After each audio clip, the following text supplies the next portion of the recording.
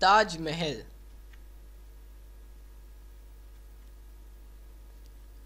The Taj Mahal can be referred to as a symbol of eternal love since Shah Jahan built it for his empress upon her death in 1631 AD.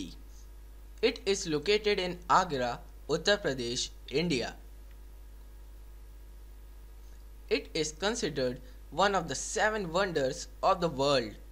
The Taj Mahal was built by Emperor Shah Jahan as a mausoleum for his wife, Empress Mumtaz Mahal. Its matchless beauty draws visitors from all parts of the world. The Taj Mahal got the highest ranking among the seven wonders of the world after the biggest online poll at new7wonders.com. Thank you.